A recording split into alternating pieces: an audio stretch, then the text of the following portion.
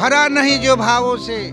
बहती जिसमें रसधार नहीं यह हृदय नहीं है पत्थर है जिसका देश के प्रति प्यार। कि मैं रार नहीं ठानूँगा मैं हार नहीं मानूँगा।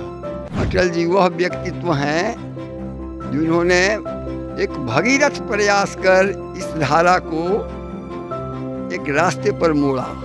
देश के तीन तीन बार रह चुके पूर्व प्रधानमंत्री अटल बिहारी वाजपेयी जी का आज जयंती है और समाज के कुछ बुद्धिजीवी लोग हैं जो आज यहाँ एकमा प्रखंड के नचाप में उनके मूर्ति पर माल्यार्पण कर रहे हैं फूल माला से उनको श्रद्धांजलि दे रहे हैं।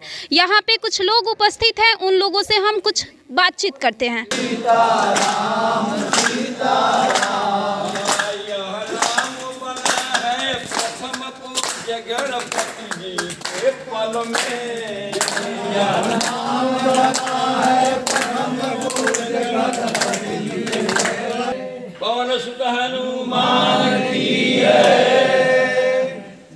संबंध में इस देश को क्या कहना है? इन दिनों दो विभूतियों के रूप में इस देश को एक बड़ी संपत्ति मिली है।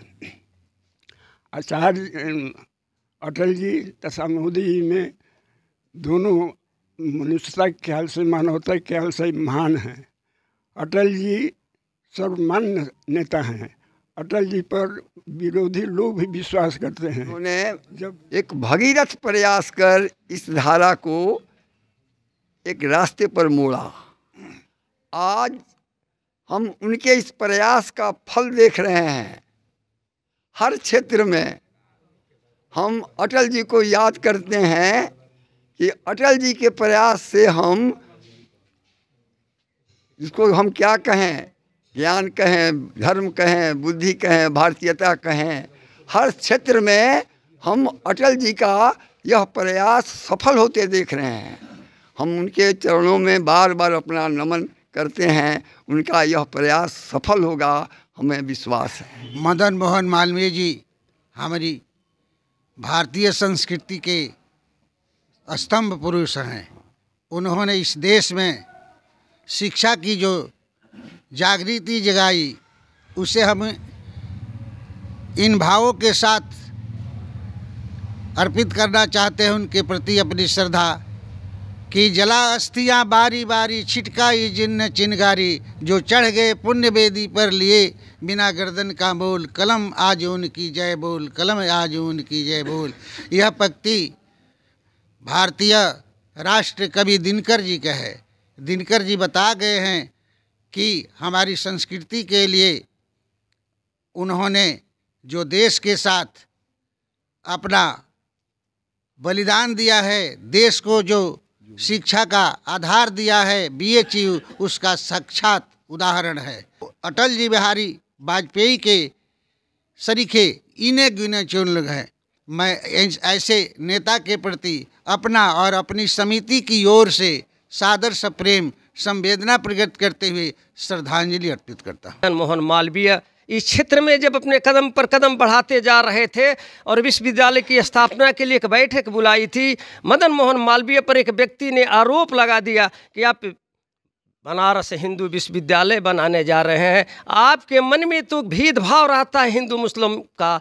बगल में मौलाना बैठे हुए थे मदन मोहन मालवीय के बगल में। मित्रों, मदन मोहन मालवीय ने उस बात, व्यक्ति के बात का खंडन करने के जवाब में तुरंत उस मौलवी से कहा कि, मौलाना साहब, एक गिलास पानी दीजिए। पानी दिया और मदन मोहन मालवीय ने उस पानी पी करके उसके पानी को पी करके यह साबित करने का काम किया कि हम भारत के लोग भारत की संस्कृति में पलते हैं और भारत की संस्कृति कहीं भेदभाव नहीं दिखाती है। यह है मदन मोहन मालवीय का चरित्र, जिसकी आज हम जयंती मनाने जा रहे हैं। मित्रों, उस व्यक्तित्व के प्रति मैं भी श्रद्धा सुमन का दो पुष्प अर्पित करते हुए अब... यहाँ इस विद्यालय में देश के दो कर्णधारों का आज जयंती समारोह हम मना रहे हैं।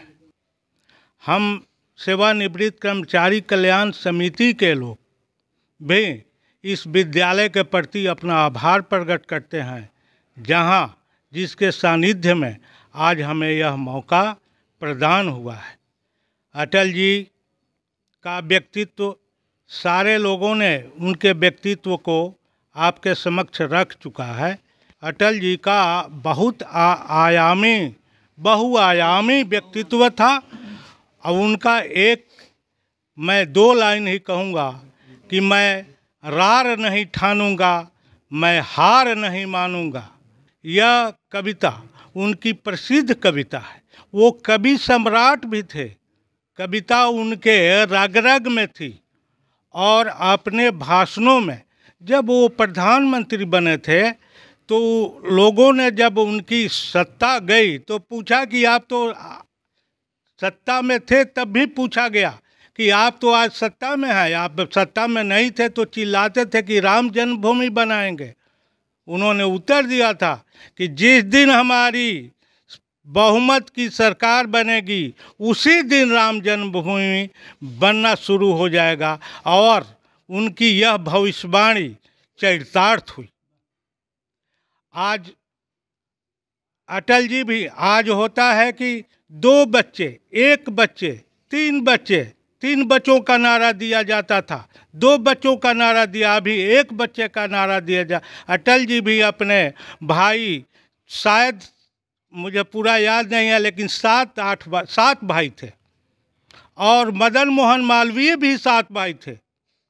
अगर एक बच्चे पर ब, दो बच्चों पर फुल स्टॉप लग जाता। तो आज ऐसे महान विभूतियों का जन्म होता कि नहीं होता यह सोचने वाली बात है। वो कांग्रेस विचारधारा के थे अटल बिहारी वाजपेयी जी जनसंघी विचारधारा के थे। दोनों में बहुत अंतर है।